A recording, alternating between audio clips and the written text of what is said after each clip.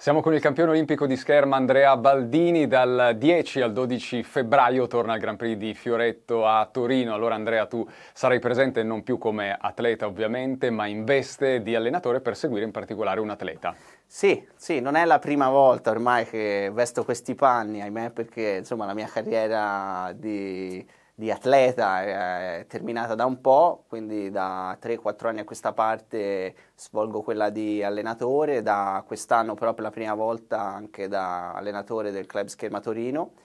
E quindi sì, saremo impegnati al, al Grand Prix di Torino, al Palalpi Tour, il 12 febbraio, questa domenica sono le finali, speriamo di esserci con, eh, appunto, con l'atleta che seguo, che poi è mia moglie, Irem Karamete, che era, parteciperà per la nazionale turca e incrociamo le dita. Ovviamente un occhio andrà anche ai tuoi colleghi o ex colleghi italiani in gara. Chi è secondo te il favorito sia nel femminile sia nel maschile? Ma è chiaro che gli italiani in generale sono favoriti a questa gara, lo, sono favoriti insomma un po' in tutte le gare di scherma, ora in più quest'anno che vede ancora diciamo, la mancanza della nazionale russa che è un po' forse quella, l'antagonista della squadra italiana, quindi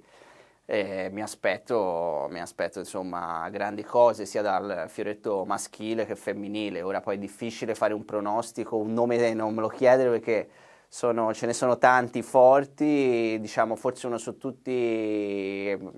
chi sta andando proprio al top, Alice Volpi nel femminile e tra i maschi forse direi Marini, Marini è quello più in forma di tutti. Parliamo invece un po' della tua carriera da allenatore, come sta andando? Ma eh, mi piace, mi piace molto, è nato un po', un po',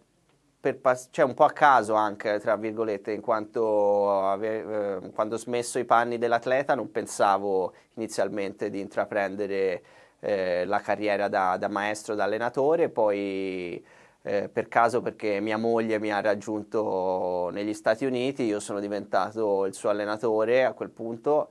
e così da lì è iniziato, visto mi è piaciuta molto e niente, ho continuato. E adesso qui al Club Scherma Torino, insomma, c'è mm, è un'ottima società, quindi sono molto contento di iniziare questo progetto, è un progetto ambizioso, importante e sono contento insomma di farne parte. Allarghiamo allora adesso un po' lo sguardo alla scherma in generale, secondo te come sta andando la scherma italiana, in particolare quella piemontese? Sia la scherma piemontese che quella italiana in generale sicuramente è florida, nel senso è comunque la scherma è sempre lo sport che porta più medaglie olimpiche nel medagliere italiano da sempre. È chiaro che non ci si può adagiare troppo sugli allori perché comunque eh, la scherma diventa sempre di più uno sport eh, globale, quindi sempre più nazioni che prima magari non erano eh, al top eh, prendono le misure, ehm, ingaggiano magari maestri italiani stessi.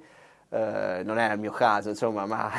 per dire che mh, quindi bisogna sempre guardarsi le spalle, ci sono tante, tante nazioni che stanno crescendo ma, ma insomma l'Italia è ancora, è ancora avanti e fa sicuramente ben sperare per le prossime Olimpiadi di Parigi 24.